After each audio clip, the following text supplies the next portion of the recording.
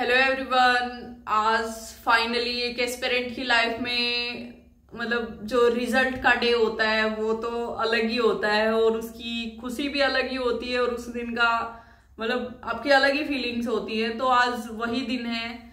अभी SSC CGL 2020 का result आपका और मेरा आउट हो चुका है। और जो एस्पेरेंट्स किसी आगे के एग्ज़ाम के लिए प्रिपरेशन कर रहे हैं तो हमारा रिज़ल्ट आउट हो चुका है। और बहुत दिन से अवेटेड था ये रिज़ल्ट एक महीने से वेट कर रहे थे एक एक दिन गिन रहे थे, कब आएगा कब आएगा ट्विटर कैंपेन्स वगैरह सब कुछ किया।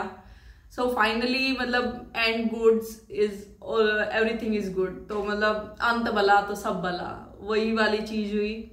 फाइनली एस एसएससी सीजीएल के थ्रू प्रिपरेशन करते हुए आपको मतलब एसएससी की तैयारी कर रहे हो आप, और उसके थ्रू आपको एसएससी सीजीएल क्रैक करो आप।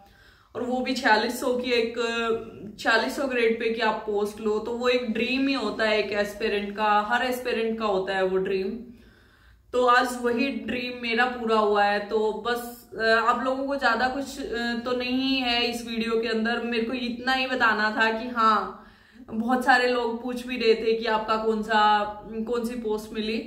तो मुझे प्रिवेंटिव ऑफिसर की जॉब मिली है। प्रिवेंटिव ऑफिसर छियालीस सौ ग्रेड पे की नौकरी होती है। एसएससी सीजीएल के थ्रू इस पे लगा, इस पोस्ट के ऊपर रिक्रूटमेंट होती है। और ऑलमोस्ट सीपिंग वगैरह से रिलेटेड इंस्पेक्शन वगैरह से रिलेटेड थोड़ा सा काम होता है। बाकी अभी जब डिपार्टमेंट में जाएँगे, चीज़ें होंगी, तब पता लगेगा। तो मतलब छियालीस सौ ग्रेड पे आज फाइनली हो गया है। इतने लंबे प्रिपरेशन का टाइम इतने स्ट्रगल्स इतनी जर्नी एवरीथिंग इज़ वर्थ मतलब ऐसे लगता है, जिस दिन सिलेक्शन हो जाता है कि मतलब हर चीज़, जो भी जर्नी में हुई, जो कुछ भी हुआ, सब कुछ वर्थ था, सब कुछ मतलब हाँ अच्छा था सब कुछ। और अभी थोड़ा सा आपको लेट वीडियो मिल रही होगी ये, कि और मतलब क्या होता है कि जो ये रिज़ल्ट का दिन होता है ना और मतलब मुझे ऐसे लगता है कि बस इसी दिन के लिए पढ़ रहे होते हैं।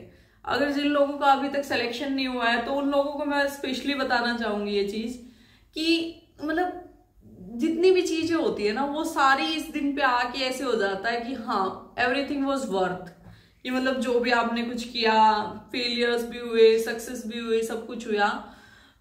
इस दिन पे आके कैसे वर्थ हो जाती है? वो जब आप पेरेंट्स की नज़रों में वो खुशी देखते हो, वो उनके मतलब वो प्राउड होते हैं कि हाँ उनके बच्चे सेलेक्टेड हो रहे हैं, उनके बच्चे कुछ अच्छा कर रहे हैं तो बस मुझे तो ऐसे लगता है सिर्फ़ वो दिन को ही एक टाइम से आप कह सकते हो इंजॉय करना या उस चीज़ को जीना ही बहुत बड़ी चीज़ होती है।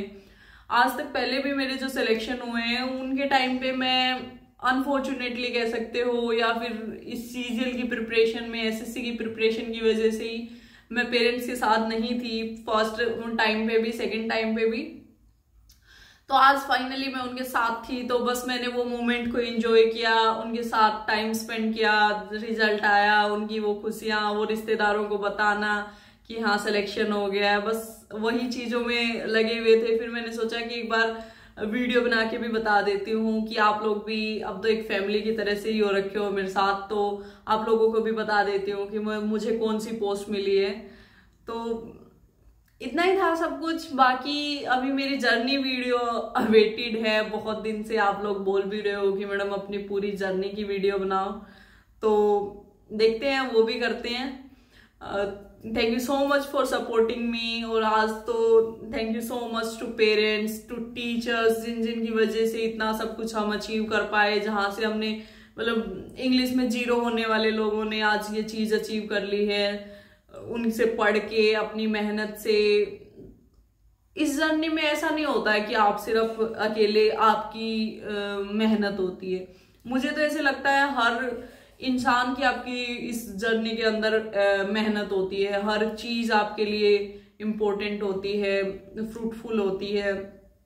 बहुत कुछ नहीं है बोलने के लिए। अभी तो बस इतना ही है कि अगर मैं कर सकती हूँ ना तो आप लोग भी डेफिनेटली कर सकते हो। कभी ना कभी मैं अपनी जर्नी शेयर करूँगी तो उसमें आप देखना कि कैसे मैंने बिल्कुल बिल्कुल ज़ीरो से अपनी चीज़ों को स्टार्ट किया था। बिल्कुल ऐसे मतलब कुछ आइडिया ही नहीं होता था जब प्रिपरेशन करने लगे थे तो बस इतना बता था कि हाँ सरकारी नौकरी चाहिए। कुछ नहीं पता था क्या सीजीएल क्या सीपीओ क्या सीएचएसएल मतलब कोई आइडिया नहीं था, बस मुँह उठा के अपने तैयारी में लग गए। ना ये पता था कि इसके लिए इंग्लिश भी चाहिए होती है, ये भी चाहिए होता है, वो भी चाहिए होता है।